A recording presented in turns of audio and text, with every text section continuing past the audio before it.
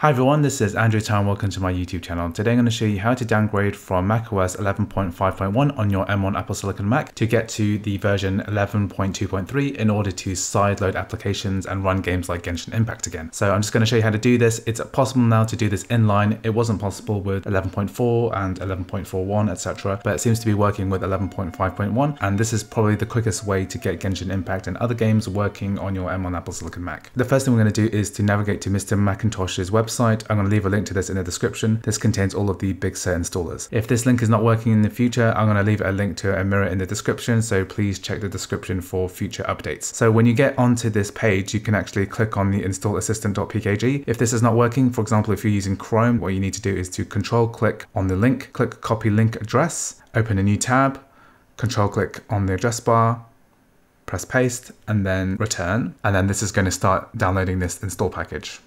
So once this install package is downloaded, all I'm going to do is to double click on this and then we're going to go through the install process. I'm going to type in my password and then it, what it's going to do is to copy the Big Sur installer into the applications folder. So what the install assistant.pkg did was move this installer file into the applications folder. We just double click on this and then we're going to start the install process. So what we have to do here is click continue, agree, agree, and then we're going to be installing to the internal hard drive. So I'm going to press continue here, type in a password, and then we're going to let this installation continue.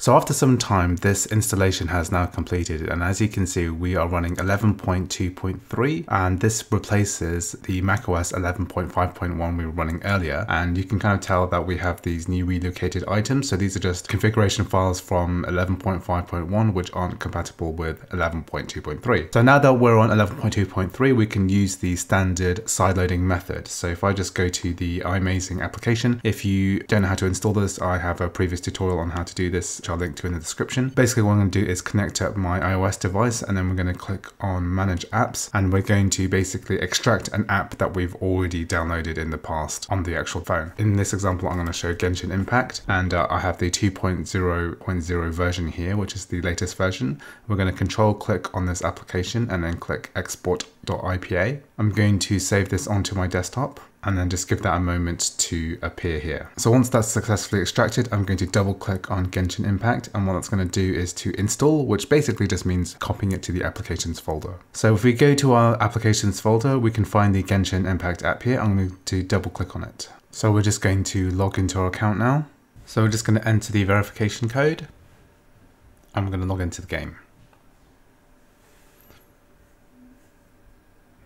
So once the files have downloaded, I'm just going to click here to enter the actual game itself. And this is kind of the, the proof that this works. This doesn't actually work properly in the 11.5.1, even if you decrypted the IPA file. This only seems to work on 11.2.3 for some reason. So this iMazing sideloading method is the only way to play Genshin Impact online on your M1 Apple Silicon Mac. So I just want to give some tips about how to play Genshin Impact on the M1 Apple Silicon Mac. We don't have keyboard or mouse controls, so we have to rely on the virtual controls here. However, I do recommend using a controller. So in order to pair a controller, firstly, you need to add a compatible Bluetooth or USB controller. So I've added my Xbox wireless controller just by going into Bluetooth preferences and then pairing my controller. And so within Genshin Impact, what we do is we go into the settings menu here, we click on the cog, and then we change the control type to controller. And once I switch to controller, all of the controls are now done through the actual controller itself. Also like to do is to switch the confirm cancel option because that is kind of the reverse of what the normal Western controller method is. And then we can play the game. Because we're on 11.2.3, we can also maximize this. We can't play in the 16 by 9 or 16 by 10 aspect ratio. We'll have these black bars for now. However, if I just move my cursor out of the way, we can fully play this game um, with the controller here. Anyway, I hope you found this video useful. I do have another video about how to install macOS 11.2.3 on an external solid state drive, which will give a kind of more long-term way of playing this game without affecting the macOS of your internal drive. If you did like this video, please like and subscribe, and I'll see you in the next video.